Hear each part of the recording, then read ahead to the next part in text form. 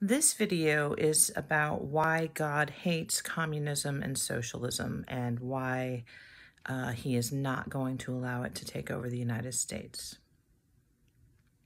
So I'm going to make it as simple as possible.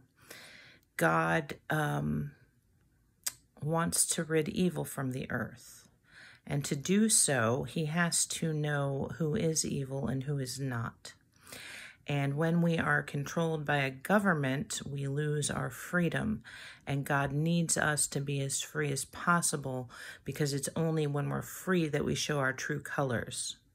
This goes for the negative and the positive. For example, if you live in a communist government, a communist system, you are going to pay a lot in taxes. You're going to be working for the state.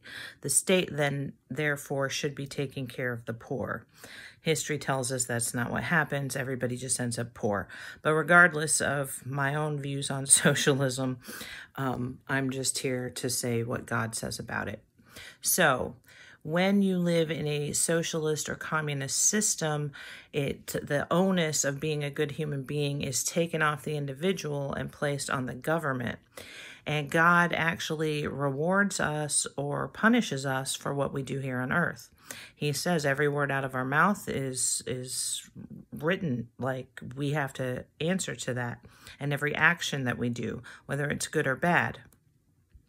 So, um, Socialism and communism uh, take away the ability for the individual to show their true colors.